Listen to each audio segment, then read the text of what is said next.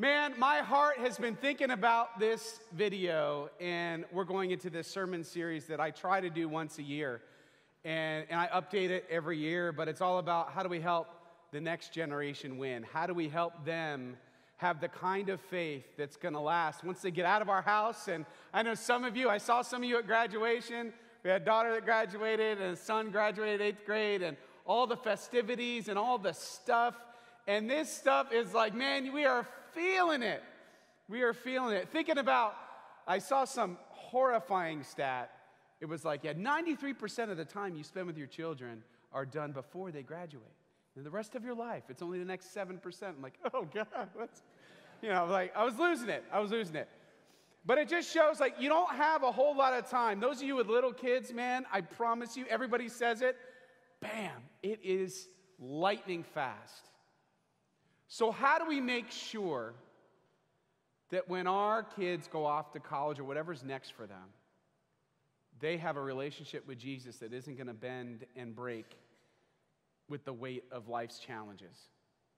When they go to school and that first professor decides to take it out on, on our students and try to dismantle everything about the Christian faith, now, there's an, an, educational idea there that you break the kids down to build them up. I understand that. But how do you make sure that they have a relationship with Jesus that won't break when that is happening? How do you make sure that years later they have a stronger faith than when they did when they were kids? How do you set them on that path? We had a, a big funeral here yesterday, a very tragic loss of a, a young mother. And she, she had a lot of kids, and she had grown up in the church and in the youth group here. And filled in the service were all the kids who grew up with her in the youth group in Tower Hill years and years ago. And somebody pointed out, uh, one of our members pointed out at the end, said, This is what youth ministry is doing. It's creating lifelong relationships, a place where you can gather back and know that you are loved and know that you belong. What are we doing to help our next generation? How are we helping them to know and love Jesus and know that we're here for them? So, it's a two parter. We're going to talk today a bit about what's going on in the church. I have some updated information from last time I did this message. And then next week, we're going to look at who is this next generation. And I'm going to try really hard not to embarrass my eighth grader with my knowledge of his slang terms like lit Anyway. yep, it's just as dumb as uh, when I say it. So, we are. Uh, how do we help the next generation win? And we have to start with kind of the church, because the church is a big part of this puzzle.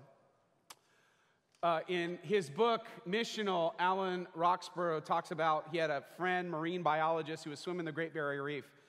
And she came up after diving and she was just beside herself with grief. And she said, and he's like, Why are you so upset? She said, Because they're all dying. The reef, Great Barrier Reef dying, all, all the reefs around the world are dying, and there's nothing anyone could do about it. I, and she goes, I could keep, keep swimming around as if they're not dying, but it doesn't change the fact that in a generation they'll be gone. And he says, Wow, that sounds to me like the church in America right now. We could keep swimming around like nothing's wrong. And there are a lot of church folks who do. But it's not going to change the fact that in a generation they're gone. What good is our faith if we can't hand it into the next generation? We're always one generation away from extinction when it comes to handing down the faith in a way that the next generation can receive. And part of it, for some of us, like I grew up in a non Christian house. I didn't have an example of somebody doing that for me. So I had to figure out, and there's no like manual. This is how you do it. And every kid's the same. And you do it, you know, at six months old, you start doing this, and you know, whatever it is. It just doesn't work that way. So you need the church's help to help you figure it out. And that's hopefully what we're here for. But the reason that the reefs are dying, so to speak, is because of the sea change. That's why reefs around the world are dying. That's why the, the church in a lot of places is dying, because the culture around it changed dramatically. Case in point 1955, Los Angeles Times. This page is a page of the paper dedicated to Presbyterian news only. The LA Times, not exactly the most religiously friendly publication, a whole page of just Presbyterian news. 1955 was maybe a little bit different. Some of you grew up in the church of that area era, and you remember just how different it was. You went to church because you went to church. And you wear your Sunday best. You better not make too much noise. Culture changed around us. It used to be that Christians had a front seat in culture and society Christian ideas, Christian values. The gravitational pull was toward the church. And now, of course, we know it's absolutely the opposite. Uh, Darrell Guder, who is a professor of mine at Princeton, said this, this term uh, uh, in, the church, in America's history is known as Christendom. Think Christian kingdom, right? The influence is toward God, toward the church. He says it's specially designed, uh, designated privileges for the church and society. A dominant culture that bore the deep imprint of Christian values, language, and expectations regarding moral behaviors. We know that just is not the case anymore. In fact, for most, as you go younger generationally, there's less and less attachment to church at all. So, just some of the numbers 2019, they found that 6 in 10 churches in America were declining or in plateau. 6 in 10, 60%. That's not now not even factoring the churches that closed their doors during the pandemic never reopened them. And, and we don't actually have stats yet on how many of these churches are plateaued or declining now. Also, from 2019, 4,500 churches a year closing their doors forever. I have to think that number is up. And then from this year, this just came out uh, a couple weeks ago 67% of churches are under 100 members and worship less than 50 a week. 67% of churches in America. That's crazy. When you could go into like any big town, throw a rock, and hit four churches. But it's like there's no one in them. And that's why I'm so thankful when we talk about the, the problems that churches have, that we have problems like, oh, how are we going to fit more people? How are we going to do more for our youth? These are, the, these are the right kinds of problems to be addressing. But what I hope is when we talk about this stuff, it lights a fire in you to do something about it. Because this is what our church is about. This is why we're doing this. If we can't do this to help the next generation win, what the heck are we doing? Numbers just from our denomination, these come out every year. The last one for 2022 hasn't come out yet. I'm sure they're not eager to, here's how bad it is this year. Um, but uh, the last numbers we got within five years 289,000 members gone in the Presbyterian Church USA, 638 churches closed. In 10 years, 566,000 membership loss. It's actually worse than that. 1983, the denomination PCUSA was formed. There's not been a single year of net growth since 1983. And actually, it's worse than that. The Northern Presbyterian Church and the Southern Presbyterian Church that became the PCUSA, they hadn't had a single year of net growth since the mid 1960s. Not one year. Decline ever since. And we've talked about these numbers a lot, so I'm not going to belabor them. But again, by generation, less and less faith. But there are also some really good numbers that came out literally this last week. Same organization, Barna. They discovered this. This is kind of wild. Considering how bad things are for the church in America, 52% of US teens are very motivated to learn about Jesus. 52%. So, teenagers are the most likely to say they're atheists, but the reason they're atheists is because they never met Jesus. They have no idea about the story, about the gospel. They're the most open generation to hearing about Jesus, which is incredible. 76% of Christian, Christian teens, they identify as Christian, say that Jesus still matters to them. Seven in 10 adults and teenagers in the United States say they have a positive view of Jesus. And 70% of Christian millennials say that their commitment to Jesus is still important. Then you look at what's going on in our culture. We've seen all sorts of Jesus stuff everywhere in the best way possible. We saw the revival at Asbury, uh, in other colleges as well. We saw Damar Hamlin, which, you know, he drops on the field. All of a sudden, it's okay to pray publicly. Everybody's praying for Damar. We saw this kind of awakening of like, oh, we need to pray, and it's okay. And even TV personalities weren't beaten up over the fact that they prayed quite publicly for Damar Hamlin. You saw the Jesus Revolution movie that busted everybody's expectations of what it was going to do in the box office. A lot of you have seen that movie. I was just thinking about The Chosen and the success of that. The He Gets Us campaign, Super Bowl ads about Jesus. And then, of course, our experience here at Tower Hill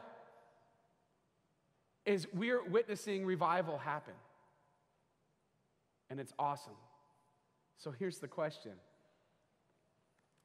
Why do we keep trending post Christian as a culture?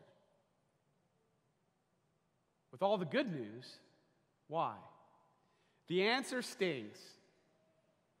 It was the title of the Barna Research Survey, or the article talking about the survey, that said this Openness to Jesus isn't the problem, the church is.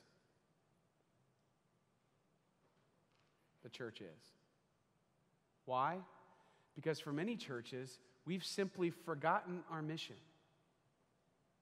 We've forgotten what we've been called to do. What are we called to do? Just like in Acts chapter 2, we're to declare the wonders of God in the language of the people. The first gift of the Holy Spirit to the church is what? Divine translation. Not just ethnic language translation, but generational language trans- translation. How do we explain it in a way that the next generation will receive and understand? You can't do it the same way you always did it before. It just simply won't work. It won't make sense to them. It's like one of my friends from seminary, Matt, he was in the Salvation Army growing up, and he had to go on a mission as a teenager.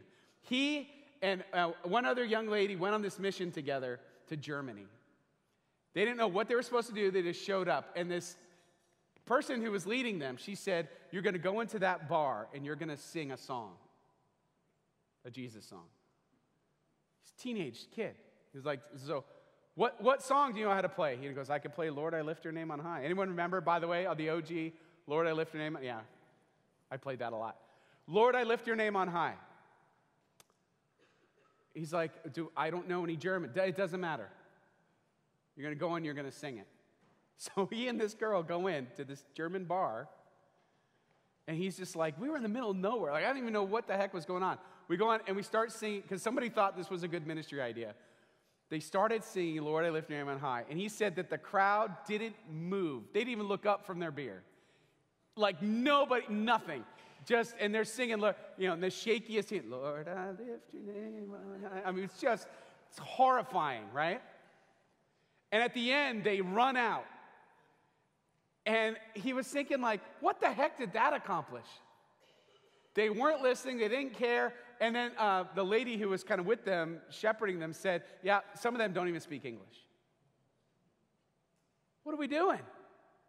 I feel like this is the church when we refuse to change what we're doing to reach the next generation. It's like singing, Lord, I lift your name on high in a German bar. It's just simply not translating. So, how do we translate the wonders of God into the language of culture? To the language that we're in. This is the task of the church. It always reminds me of Judges 2:10 where it says after that whole generation had been gathered to their ancestors another generation grew up who knew neither the Lord nor what he had done for Israel. It's just because they don't know. But they're open. They're open.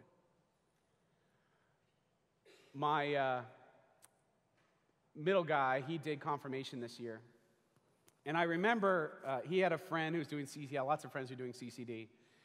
And I remember they were, we were given rides or something, and I was taking um, Jason up to the church for youth group. And uh, this kid that he was with was just had a lot of questions. He's like, Oh, you have to go to church? Is that like CCD? And he's like, he's like, no. He's like, it, it's just fun. And he goes, You go to church just for fun? Yeah, it's fun. Like we play games, we do stuff. And you can see this kid was like wrapping his head. He was questioning everything. He had no idea what was going on. And like, how do we help our church be a place, honestly, not just for kids, but for all of us, where there's joy, where there's real connection?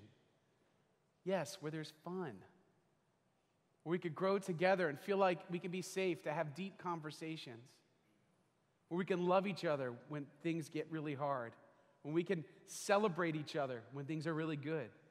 How do we do that? It's kind of like um, Tod Bolsinger's book, Canoeing the Mountains. Some of you know this book. We talked about it a few years ago when it came out. Some of you, I think, even did a small group around Canoeing the Mountains. But this was the story of Lewis and Clark in their Corps of Discovery in 1803, where they were tasked with, they had to explore the territory of the Louisiana Purchase. And their number one goal was to find a navigable water route from the Mississippi River to the Pacific Ocean. They hired Meriwether Lewis to do this because he was an expert river guide, river navigator. In their heads, this is what they thought they'd find the headwaters of the Mississippi, and they would literally canoe downstream to the Pacific Ocean. They had no idea that what they hit, here, go on, I already talked about that. Next slide. They hit the Rocky Mountains. Oops. River trip over. They had no idea what to do. They had all the wrong equipment. They're literally carrying their canoe and paddles, and they're like, "Do we? How do we canoe the mountains? We can't." So they had to figure out, what do we do? We have to change. We have to pivot if this mission is going to succeed. It's all about adaptive change. I don't know how we're going to do it, but we got to try. Why? Because the mission is worth it. The mission is worth it. Whenever I think of this, kind of what's going on in culture and, and how we should go about the work of doing whatever we can to reach people with the message of Jesus, with the good news, is I think about the story of Nehemiah. And uh, we did a series on this about a year ago, but I want to share, talk a little bit about the first chapter of Nehemiah. But first, to get your head around where Nehemiah is, uh, actually, my mother and father in law are with us in, in worship today. Don't worry, I'm not going to embarrass you. But um, I was thinking about this because I was thinking about the 2010 Joplin tornado. We, uh, my mother in law was literally a block away from the devastation of the Joplin tornado. And we went, it was about a month or so after. And I remember just seeing the devastation of Joplin, but the weirdest thing was the trees, they didn't have any bark on them. It was this oddest thing. It just ripped. I mean, it was just this powerful, horrible thing. And of course, you had a community that was reeling and trying to figure out what do we do next. And I often think when we hear about these disasters, it's like they're in the news cycle and then they're gone. But it's like, how would you feel if you, uh, you lost everything?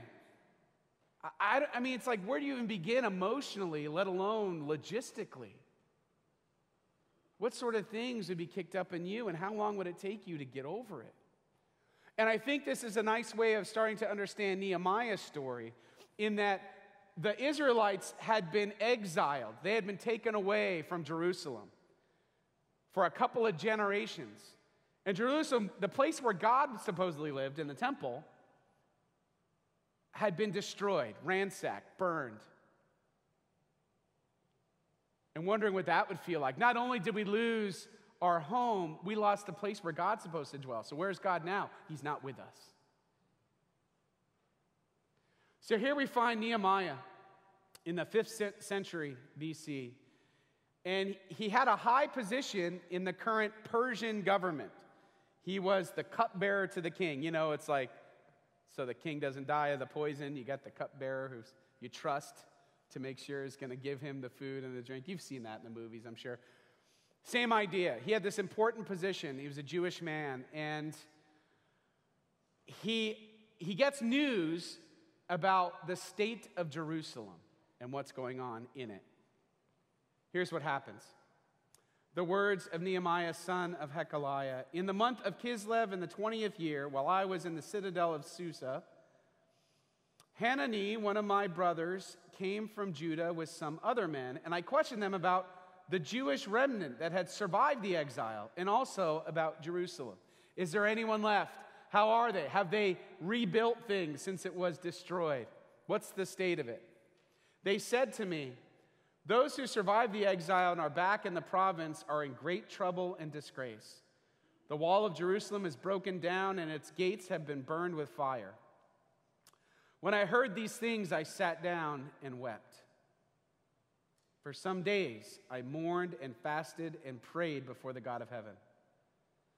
Then I said, Lord, the God of heaven, the great and awesome God who keeps his covenant of love with those who love him and keep his commandments, let your ear be attentive and your eyes open to hear the prayer your servant is praying before you day and night for your servants, the people of Israel. I confess the sins we Israelites, including myself and my father's family, have committed against you. We have acted very wickedly toward you. We have not obeyed the commands, decrees, and laws you gave your servant Moses. Remember the instruction you gave your servant Moses, saying, If you are unfaithful, I will scatter you among the nations. But if you return to me and obey my commands, then even if your exiled people are at the farthest horizon, I will gather them from there and bring them to the place I have chosen as a dwelling for my name. They are your servants and your people, whom you redeem by your great strength and your mighty hand. Lord, let your ear be attentive to the prayer of this your servant and to the prayer of your servants who delight in revering your name. Give your servant success today by granting him favor in the presence of this man. I was cupbearer to the king. What we learn in, I think, in Nehemiah's reaction is, I think, exactly how we're supposed to be reacting here and now and how we help the next generation win. Because I think there are really important things he goes through that we go through. The first thing is this the first thing that I think we learn is when our faith is challenged, we don't throw our hands up in the air and give up, we go to our knees and pray up. This is what he did. He heard about how bad things were, he went to his knees and prayed. But then he did something about it. Right? It says he mourned for days. He mourned the state of things. And I think, like us, we could mourn the fact that the world is the way that it is. Oh my gosh, there's just something in the paper about like all the presidential candidates. I'm like, oh my gosh, again? Can we just do this? I'm like, just waiting for just how ugly it's gonna get. Like, I'm not looking forward to that. It's okay to mourn the way things are. But it's not okay to just act like nothing has changed, like the reef is dying, you're just going to keep swimming around and do nothing about it. We got to do something about it. And that's what he does. That's the other thing we learn when we use everything at our disposal and wherever God has placed us to do his work. And if you've been here for a few years, you know that this is what we've been trying to do. So we just did this capital campaign. We're trying to keep doing this. How do we create great environments for the kids? How do we make sure that we set them up to want to be at church, to love being at church, to know that we're for them, that we're a place where they can be here and feel comforted, they can be themselves, they can learn and grow and be challenged, they can go on mission trips, they can do all sorts of things. How do we do that well? And you know, the last few years, right, 2015, 16, we changed the attic space for them. Go ahead to the next one. We created large group and small group spaces that are all filling up like crazy. We've got a growing group of teens here. This is what we're supposed to be doing. But I think some of us feel like, okay, that's great. But when it comes to like actually helping out, or I don't know how to talk to my own kids or grandkids, I don't know what to say. I don't know their music. I say dumb things like lit out of context. Like, I don't know, they don't think I'm cool. What do I do? That's when I always think of the greatest evangelist in my life. Agnes Sales. Agnes led the children's program at the First United Methodist Church of Glendale, California, where my mother ran a preschool. This was the church we joined, and I got baptized, even though it didn't mean anything to me. And I couldn't wait for the minute I could get off stage. It was VBS time, and I did not want to be in VBS. I was probably maybe 13, 14 years old. Didn't want to be in VBS. She obviously knew it. She's like, Jason, I need help this week. I mean, look at her. I wasn't going to say no. She's like, I need help making the snacks for the VBS. I'm like, yeah, I'll do it. And then, like, I'm like, sounds a lot better than being in VBS, right? That week, she didn't try to teach me about Jesus, but man, did I feel like she really loved me. And she was really thankful that I was helping her. And I got to say, it changed me. It opened me up to God in a way that I wasn't open before. Agnes Sales can do it. So can you. So can you. It's just by loving loving the next generation and doing just want to help them win. Hey, I want to help you. What the next generation needs isn't information about Jesus per se. They can get that anywhere. We're in the information overload age. They need interpretation about Jesus. They need someone to show them this is what it looks like. This is my story. Maybe it could help yours. It's about a formula consistency over time equals trust. How do we get the next generation to trust that what we say about God is true and that we're living it in our own lives? That's the other thing. It's not just paying lip service to God. It's like, do I see mom, dad, grandma, grandpa, aunt, uncle, do I see them actually trying to live faithfully? They're paying attention to that. So, if you want to know the biggest thing that you could do is to be as faithful as you can be. You don't have to be perfect. That's why we all need a Savior, just a reminder. But we got to try. It's appropriate and important to mourn what is lost but then we must get to the work of rebuilding. And just like they said in Joplin, what did they say? After every disaster, we will build back better. We will be a better version of the church than we were all those years ago. If we think the church's best days are behind us, we have, we're the problem. Our best days are ahead of us.